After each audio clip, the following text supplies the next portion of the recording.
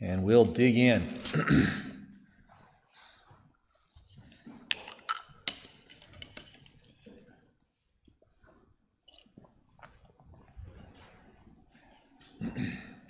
Romans chapter 13. Let's read together verses 1 through 7.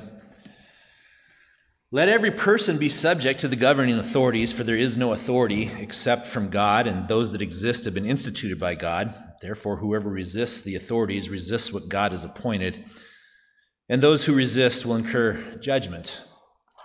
For rulers are not a terror to good conduct, but to bad. Would you have no fear of the one who is in authority? Then do what is good, and you will receive his approval. For he is God's servant for your good. But if you do wrong, be afraid, for he does not bear the sword in vain. For he is the servant of God, an avenger who carries out God's wrath on, wrong, on the wrongdoer. Therefore, one must be in subjection not only to avoid God's wrath, but also for the sake of conscience. For because of this, you also pay taxes, for the authorities are ministers of God, attending to this very thing. Pay to all what is owed them taxes to whom taxes are owed, revenue to whom revenue is owed, respect to whom respect is owed, honor to whom honor is owed is owed. Well, I, I know I've said several times over these last couple weeks that it is with some amount of trepidation that I approach this text. And uh, I'm sure many of you over these weeks and maybe throughout your life, you've thought deeply about this text and what does it mean to apply this in our day? Uh, what does it mean? How does this go? Uh, but again, to even broach this topic in the public square, not even in the public square, but in, in our families sometimes, is to invite discord. It's to invite struggle. What are the two things you're never supposed to talk about? Politics and religion, right? Those things. And yet, first of all, religion is the most important one thing you can talk about, specifically the gospel of Jesus Christ.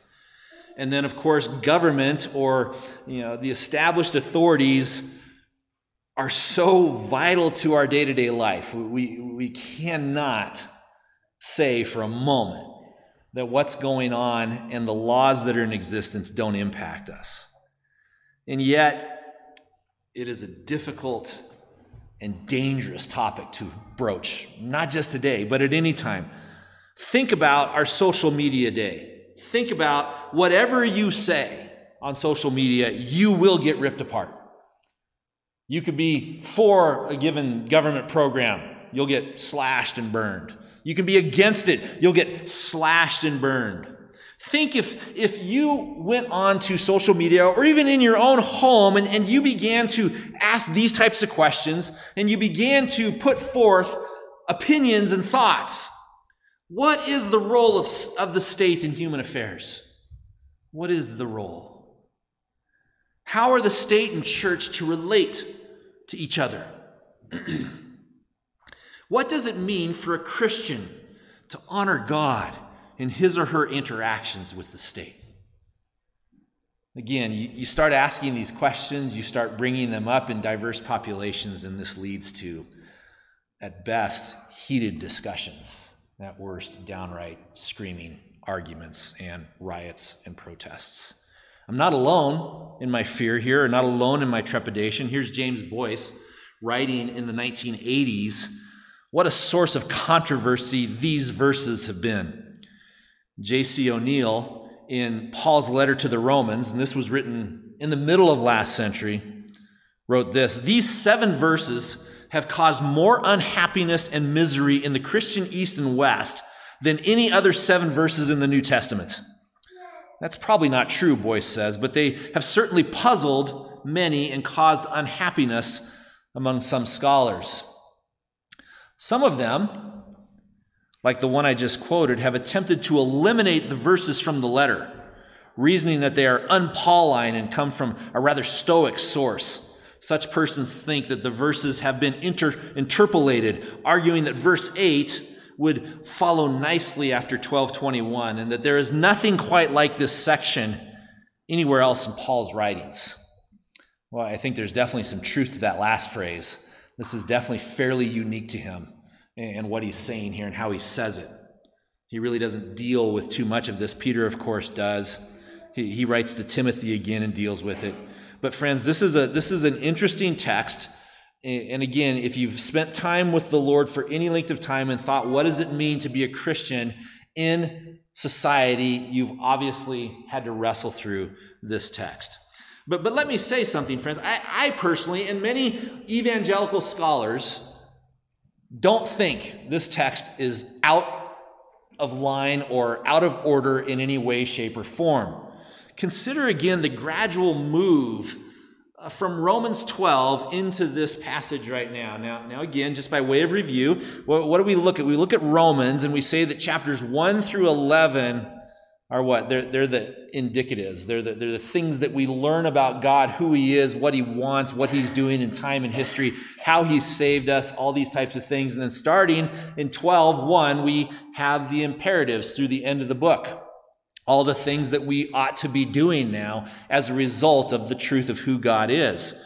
And so, rightly, we look at Romans 12, 1 and 2 and say this is the pivot or the, the center of the, of the wheel when it comes to Romans. Everything turns now around this. Everything that came before are things that we have to know. Now are the things that we do in light of what we know. And so, if we consider the gradual outward move of Romans 12 into 13, what do we see? First of all, what? 12, 1 and 2, it's a Christian in relationship to God. And then 3 through 12, a Christian in relationship to other Christians. 13 through 21, a Christian in relationship to non Christians and even enemies. And then today, what? A Christian in relation to the state. And I've mentioned this before about your priorities. What, what you need to, how you need to view your life biblically. Number one, the, the, the, most important thing is what? You are a child of God.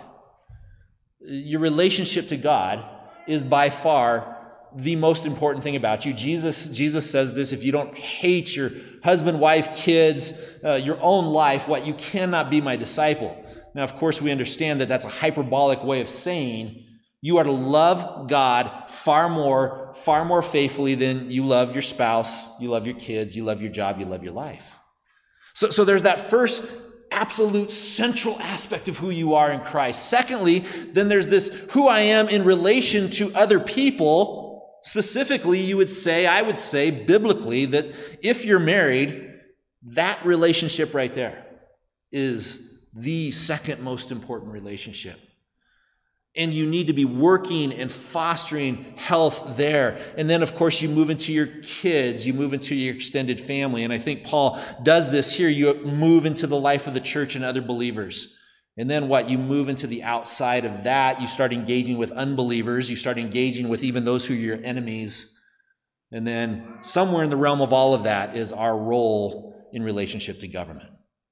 And so, friends, I would argue clearly then that Paul's method or flow of argument, we can say with confidence that how we relate to government fits right in with it.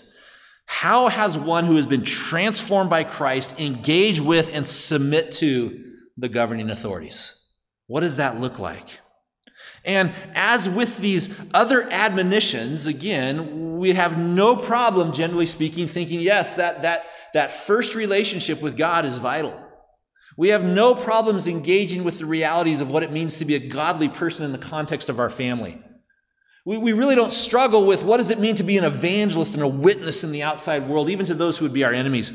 But boy, what do we do when we are faced with government? How do we engage there? And, and friends, again, it just flows right out of this. And if we're going to ask the questions about our relationship to God, our family, to outsiders, then, then friends, it's just natural that we ask questions about what does it mean to live well with government. As we will see, these directives here that we're looking at, they're not unique to Paul. And as we'll see, he is developing his argument from the history of God's people. Yes, he's inspired. We'll talk about that. Yes, he's the inspired writer, but this just isn't coming out of nowhere.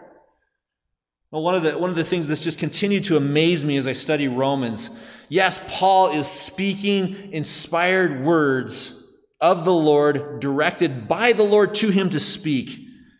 And a vast majority of them are echoing or repeating the words of Christ, echoing or repeating what's been said in the Old Testament. And so, friends, what we're doing here is not unique, it's not new, it's biblical, and it's right, and it's good. And we need to wrestle it through. So, the big idea that we're looking at today is this, and we we'll, might be looking at this over the next couple of weeks here. As transformed believers, remember, you have been transformed. You are being transformed. You are now what? A living and holy sacrifice. You are attempting by the grace of God and wisdom of God to discern God's will, that which is good and acceptable and perfect. Romans 12, 1 and 2. As transformed believers, if that's you, we will embrace God's directive to submit to governing authorities. And I said will, not should. We will. Because this is what transformed believers do. It's what transformed believers do. So, from this text here this morning, let's look at four keys to embracing God's directive to submit to governing authorities. Number one, the background of the directive the background of the directive. Why this discussion? Uh, again, uh, we look at this, and we just read in 1 Peter what? That we're sojourners, we're aliens and strangers. If we read Paul in Colossians, uh, we understand that, that, that we have died and our life is hidden with Christ in God. When Christ, who is our life, appears, we will also appear with him in glory. Uh, so we are otherworldly people. We're not to love the world, we're not to be engaged in the world, so to speak in the sense of participating in their evilness. And, again, there are many who understandably, maybe wrongly, but understandably say, you know what, I don't even need to worry about government. I don't even think about it. Jesus said, My kingdom is not of this world. I don't need to deal with this. just go do my own thing. Or we can just do our own thing. We can go become siege mentality people and go live in a, in a, in a hovel somewhere or a cave and call it that and just be done with it. But, but friends, where is this coming from? Where is this coming from? Why does Paul put this in here? One of the things that, that I do in sermon prep, and I know there's a couple other, I think Eric Laudenschlager does the same thing when he's putting together he's putting together his messages and josh is going to uh, i've been teaching him or having him read books on these types of things when it comes to messages the first thing one of the first things you're asking in your study is what is the fallen condition focus so all of us here are fallen right all of us are in a fallen condition. Therefore, we need God's instruction.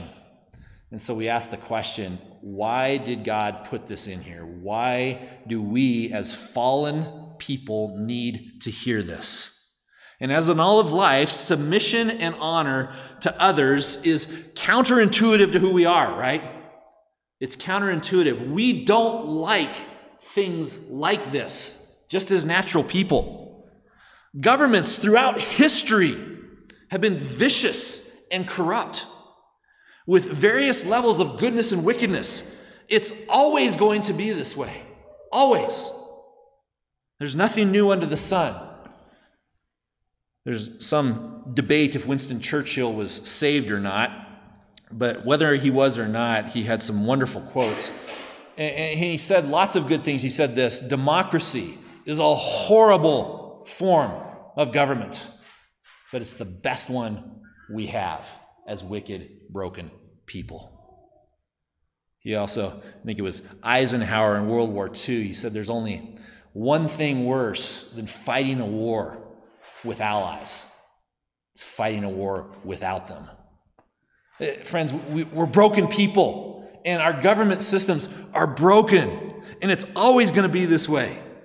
And so, friends, as we look at this directive here, why did he put this in here? Why did God want this? Well, we need to recognize that this is counterintuitive to who we are. We don't like to submit. We just don't like to do that. And, and specifically, us in the West. But, friends, the, the desire to not submit to governing authorities has been something that God's people throughout history have gone to. The Jews, in particular many of whom are now Christians and in the Church of Rome are a very nationalistic and restive bunch. They always have been. In recent history to this time, the first century, there's been the Maccabean revolt from 167 to 160 BC against the Seleucid rulers of the day. It's a nationalistic, violent pushback against the Hellenization of Israel.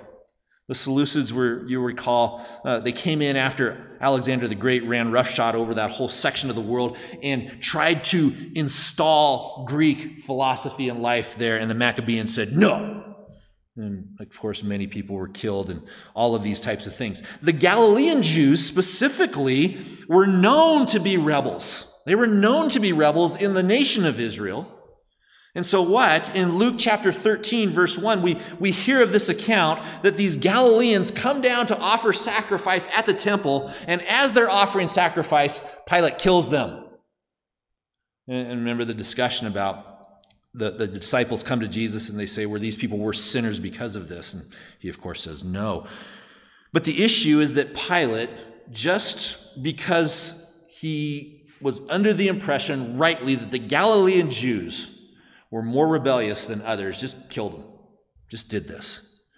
In Acts 18:2, it's recorded that the Jews of Jerusalem were expelled from Rome by Emperor Claudius. It's interesting, there's a Roman historian, he, he asserts that the reason that Claudius expelled the Jews from Rome was because of, quote, Chrestus.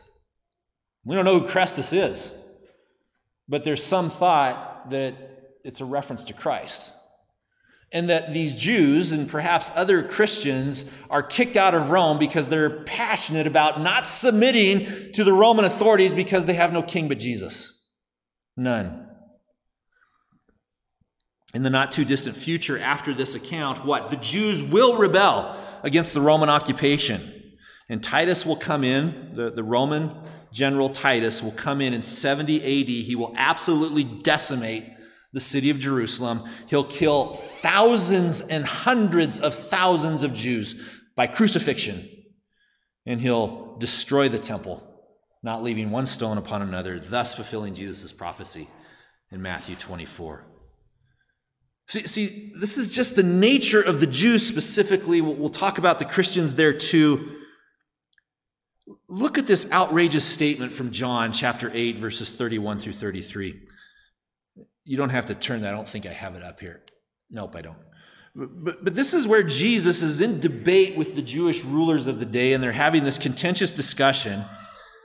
And, and Jesus says this He said to the Jews who had believed in him, Roman or John 8 31, If you abide in my word, you are truly my disciples, and you will know the truth, and the truth will set you free. Amen. But then these Jews answer back to him and they say this We are the offspring of Abraham and have never been enslaved to anyone. What? They've been enslaved to everyone. They're enslaved right now. And so they have this mentality that says, no one rules us. No one has that right. Here, here for Christians, and here's something that I think we probably wrestle with. Paul writes to the Colossians, he says, He has delivered us from the domain of darkness and transferred us to the kingdom of His beloved Son. Friends, that's, that's a government statement right there. That's a statement of authority. That's a statement of who am I under? Who do I listen to? And the, temp- the tempting thing, as it was for the Jews and Christians in Rome, in Colossae, throughout the world, is to sit there and think, wait a minute, I'm a sojourner. I don't live here. This is not my home. I am an alien, a stranger.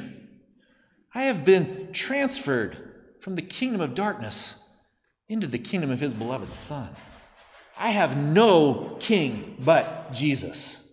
None. Therefore, I ain't listening to these worldly, godless, pagan rulers. Not doing it. He's not my president. Since I can remember, I've seen that bumper sticker. Every single term of the presidents of this country, he's not my president. So, so again, that, that's just inherent to all of us, Christian or non Christian. We don't like to submit. Specifically, Christians have to wrestle with what does it mean to belong to God through faith in Jesus Christ, there is one King and one Lord, and it's Jesus Christ, and I follow him. How then do I relate to these governing authorities. What do I do? The background of the directive to submit to governing authorities is given to those who really struggle with it. And friends, that's everybody. That's everybody. Secondly, the foundation of the directive. The foundation of the directive. Read again, chapter 13, verse 1. Let every person be subject. Now, now, again, look at the wording that he uses here. You should make yourself, he, he's not saying you should make yourself subject. You know, think about what it means to be subject. Maybe give it consideration. You need to actively choose to bring yourself into subjection to something that you're not in subjection to. Friends, that's not what he's saying. It's not what he's saying. It's passive. Let every person be subject. Friends, what Paul is saying here is simply live in reality. You are, brothers and sisters, friends, you are subject to the governing authorities. Live in light of that truth. According to this passage, the government has authority. They have it. It's not up for debate. Not at all. We are to acknowledge and live in light of this reality. And again, as I've said, this tends to rile us up pretty quickly.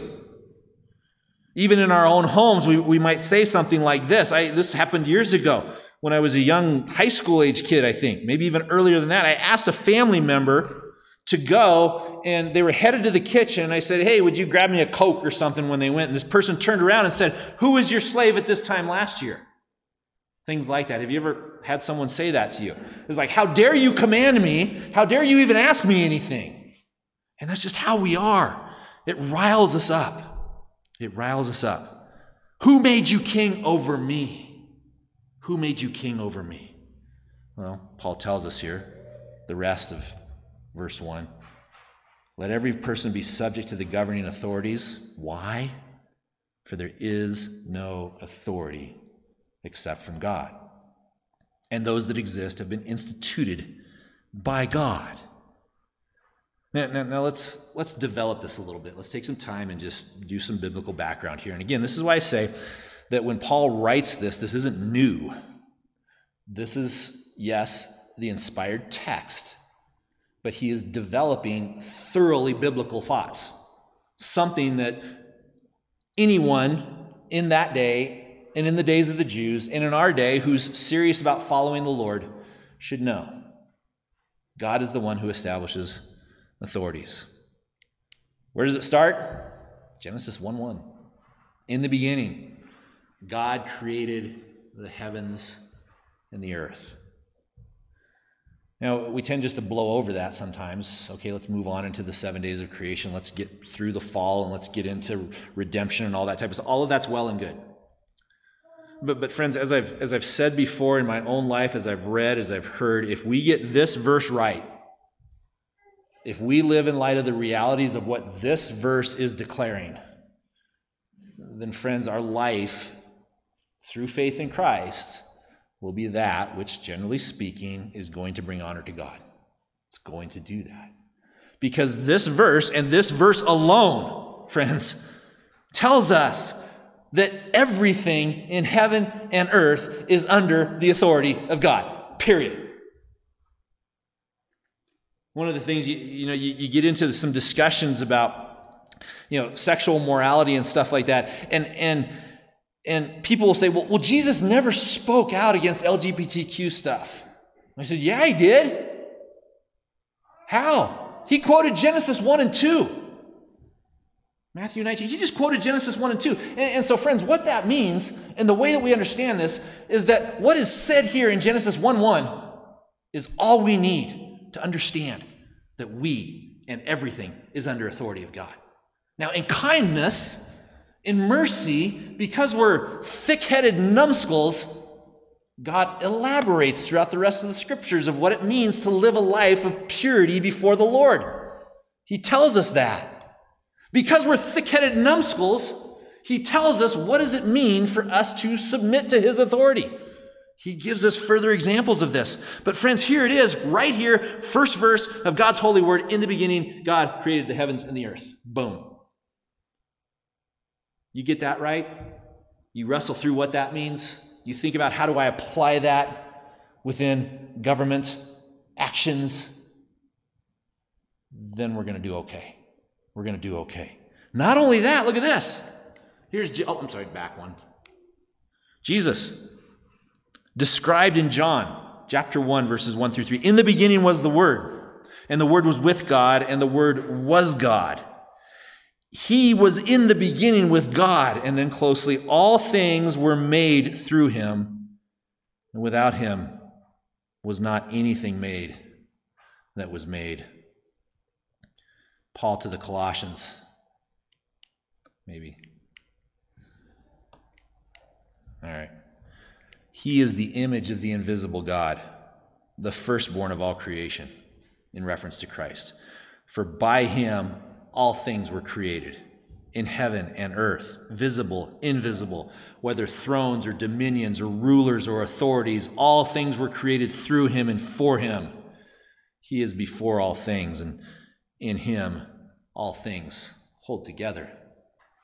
Nebuchadnezzar in Daniel chapter 4, verse 25, after he's been humbled, he says this The Most High rules the kingdom of men and gives it to whom he will.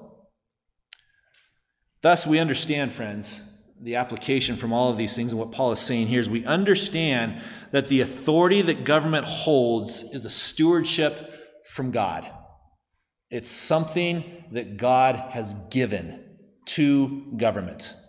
And we, as biblical thinkers who view the world through the lens of Scripture, through the lens that God has revealed to us, we understand that the authority of government isn't something that they've come up with on their own, it's a derivative authority.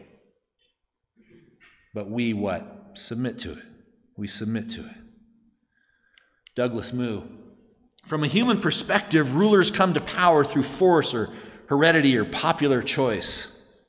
But the transformed mind recognizes behind every such process is the hand of God. The hand of God.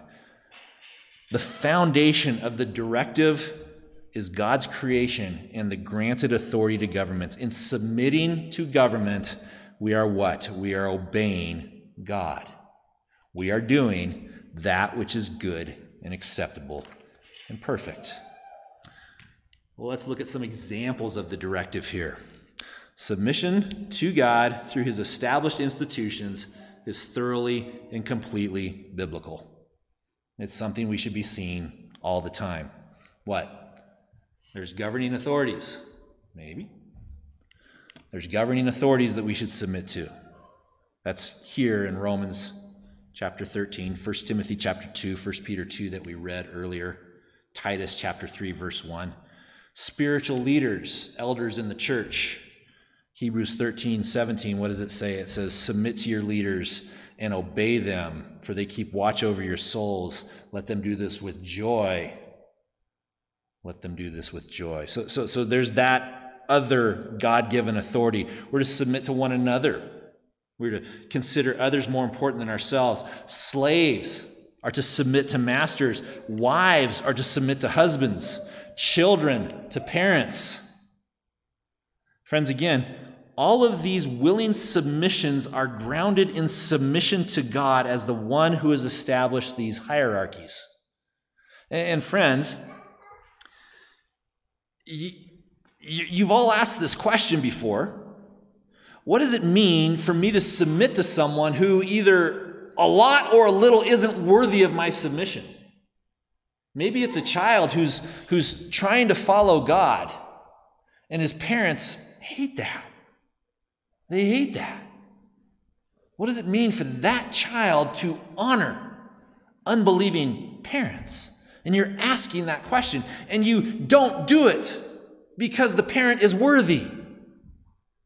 You do it because you're commanded by God. Wives, why do you submit to your husbands?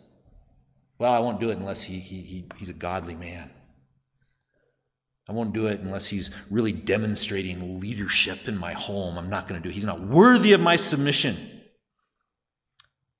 Well, I'm sure most of you guys know this. There's not one husband in this room that is worthy of your submission. It's just not the case. Every man should be striving to do that, but he's going to fail just like you're going to fail. And you choose, because of your affection and love for God and who He is and what He's done, you choose to submit. You choose to submit. Those of you that have little guys, most important thing that you need to teach them before they're five years old is that they are under submission to you, but that submission derives from God and you're pointing them in that direction. You're pointing them in that direction. What are some examples from Scripture of this, seeing these things? There's Joseph in Egypt. Look at how he conducted himself there wrongfully sent to prison, wrongfully sold into slavery. What does he do with Potiphar? Potiphar's wife wants to seduce him and take him to bed. And what does he say? How could we sin against God? So, so again, he understands that his ultimate submission is to God. How could we sin against God and sin against my master in doing this? The jailer. You know, he gets thrown into jail, wrongfully accused of, of raping Potiphar's wife. He gets thrown into jail, and within X amount of time, what? He's ruling the jail because he's submissive and respectful. And the jailer turns everything over to him. He submits to Pharaoh, comes underneath Pharaoh, listens, obeys, and what's? Pharaoh makes him second in the kingdom. And, and of course, he's seeing all of this from the perspective of God. He says, As for you, to his brothers in Genesis 50 20. As for you, you meant evil against me, but God meant it for good to bring about that many people should be kept alive as they are today. Nehemiah, he's an exile, a prisoner, and the king brings him in to be his wine taster. Again, that's a fairly serious place, right? Because if someone's going to assassinate the king with poison, the wine taster drinks it, he falls over dead. And the king doesn't drink the wine, king's fine. That was Nehemiah's role, and he conducted himself with respect. Daniel in Babylon, always honorable, always respectful. Even when he decided not to obey, he did so with respect. He did so with respect. Paul, unjustly prisoned for over two years in Caesarea. Got behind Nehemiah, Daniel, Paul. Paul, unjustly imprisoned for over two years in Caesarea, always respectful, always willing to submit. Of course, Jesus is the prime example. We'll deal with this more over the next couple of weeks, but you know this statement in Mark chapter 12, verse 17 give to Caesar the things that are Caesar's, and to God the things that are God's. Friends, we know based on that text alone that Jesus is saying Caesar or government has a role to play, and you need to give what is due to them. You do it. And then, most shockingly, in John 19 10 and 11, so Pilate said to him, Will you not speak to me? Do you not know that I have the authority to release you and the authority to crucify you?